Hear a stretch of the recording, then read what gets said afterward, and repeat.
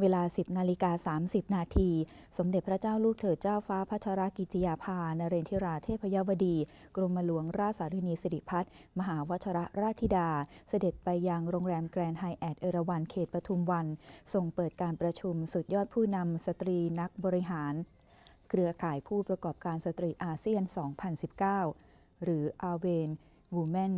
CEO Summit ในหัวข้อ การกำหนดทิศทางธุรกิจสตรีก้าวล้ำ สหัสวรรษ 4.0 Globalization 4.0 and Beyond Shaping the Future for Women Enterprise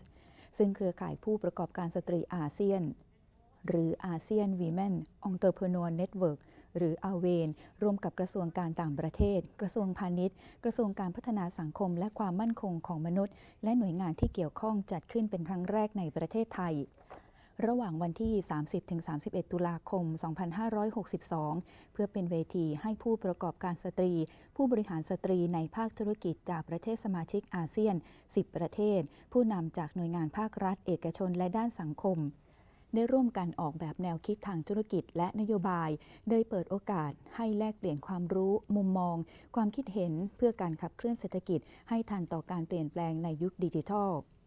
ในการนี้มีพระดำรัสเปิดงาน และทอดพระเนตรนิทรรศการผลงานเครือข่าย ผู้ประกอบการสตรีอาเซียน ซึ่งเครือข่ายดังกล่าวจัดตั้งขึ้นปี 2555 โดยคณะกรรมาการกรรมาการอาเซียนด้านสตรี ภายใต้ประชาคมและวัฒนธรรมอาเซียน มีตัวแทนสตรีในทุกภาคเศรษฐกิจในกลุ่มอาเซียน 10 ประเทศเป็นสมาชิก นอกจากนี้ภายในงานยังมีการปาฐกถาพิเศษ การบรรยายและเสวนาในหัวข้อต่างๆ เช่น Aging Society Automatic and the Future of Work สังคมสูงวัย ระบบอัตโนมัติ และแนวทางการดำเนินงานในอนาคต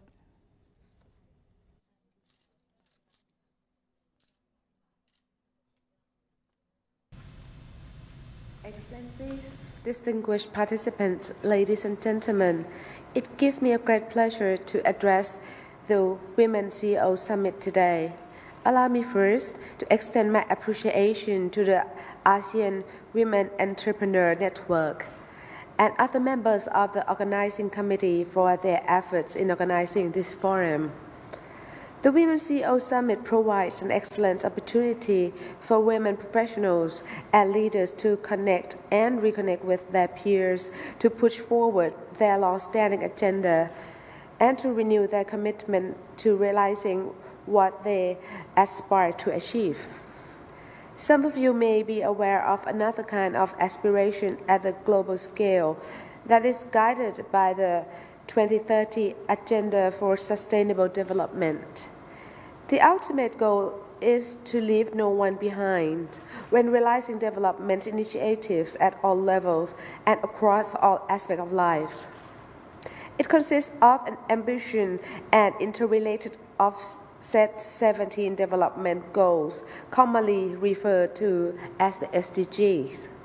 The SDG have now become our common aspiration as well as a comprehensive framework to guide the development efforts by key factors to achieve sustainable development for all by year 2030. One key aspect of the SDG is that these goals are interlinked and mutually reinforcing. Achieving one goal brings us closer to achieving many more. For example, progress made in realizing Goal 4, equality education for all, contributes to poverty reduction in Goal 1, promotion of good health and well-being in Goal 3, and access to decent work in Goal 8. SDGs also envisage the various actors to work together to achieve the targets. National governments and international organizations, therefore, need support from civil society organizations and ordinary citizens if we are to move things forward that are unprecedented in scope and scale. For this reason, I would like to share with you today a few thoughts related to the role that women can play in support of the implementation of the SDGs. First, I believe women can play a vital role as an actor into the development process by doing their best when fulfilling their different responsibilities. When you have to be there for your family, be your best in that capacity. In your work,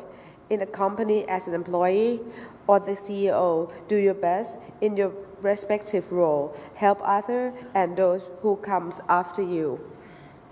With such awareness, you are actively taking part in the global movement that aims to transform our people and our planet. We must not forget that we achieve in our respective areas of work can have a positive and far reaching impact on the other areas of development. Secondly, I believe we also need to be aware of who in, the, in our societies are in the greatest need of help and see what we are as individual and organization can do within the framework of our different roles. Despite the ongoing efforts of many actors, some individuals remain vulnerable to the effect of a wide range of adverse situations, armed conflict, terrorism, natural disaster, or crimes such as trafficking in person or violence against women can disproportionately disproportionately affect people with a certain vulnerability. As a result, they are in a disadvantage when it comes to realizing our full potential or enjoying fundamental freedom and opportunities. In fulfilling our respective role and responsibility, we therefore may need to be mindful of these impediments. We should try to address some of these challenges when we can. I have on many occasions stressed the importance of the rule of law for sustainable development. The rule of law is not only an essential part of one SDG's Goal 16, but also a key enabler to other goals. In our daily life, we rely on the law and other norms to guide our conduct and set parameters for our interaction with others. The rule of law encompasses fundamental principles to ensure the quality of those norms and their reinforcement. On the firm foundation of the rule of law, we can all prosper in a peaceful society. But on certain occasions, you may come across gaps of other flaws in those norms or weaknesses in their reinforcement. This is when we may need to pause our business as usual attitude and try to see things in a broader context. We must then act, where possible, as agent of change. We can voice our concerns or alert the responsible parties to the problems. In doing so, we become part of the solution, not the problems. In doing so, we help strengthen the rule of law and thus contribute to sustainable development. As a professional organization of women, the ASEAN Women Entrepreneur Network is in a unique position to be part of the solution. As a women professional, each of you has a unique role to play. You can help place women's perspective, needs, and interests on the agenda at various levels in the private sector, in the public sector and in community in order to raise awarenesses, rally support to address those challenges, and lead the way towards more sustainable future for all. On that note, it is now my pleasure and honor to declare the Women CEO Summit open, and I wish you all every success in your deliberation. Thank you.